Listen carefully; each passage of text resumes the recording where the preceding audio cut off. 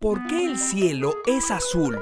Si estuvieras en la luna, por mucho que brillara el sol, verías el cielo completamente negro. Pero en la Tierra lo vemos azul porque hay aire y sucede un fenómeno llamado dispersión de Rayleigh. Como seguro sabes, la luz blanca, como la que nos manda el sol, está compuesta por luz de todos los colores. La que tiene la longitud de onda más larga es la roja y la más corta es la violeta. El aire está compuesto en su mayoría por moléculas de oxígeno y nitrógeno que son muy pequeñas. Cuando la luz atraviesa la atmósfera, la mayor parte de los rayos de longitudes de onda grandes atraviesan en línea recta, pero las pequeñas, como el azul y el violeta, chocan con las moléculas y se dispersan en todas direcciones, haciéndolo brillar en ese color azul celeste que en las ciudades a veces extrañamos. ¿Y por qué no lo vemos violeta? Porque nuestro ojo no es muy bueno percibiendo ese color, está más adaptado a ver verdes, amarillos y naranjas. En el atardecer, la luz del sol tiene que atravesar una porción de atmósfera más gruesa. La luz azul se dispersó y ya casi no llega a nuestros ojos, solo podemos ver luz naranja y roja que se dispersó menos. Cuando la luz atraviesa partículas de vapor de agua que son más grandes, también se dispersan los demás colores y por eso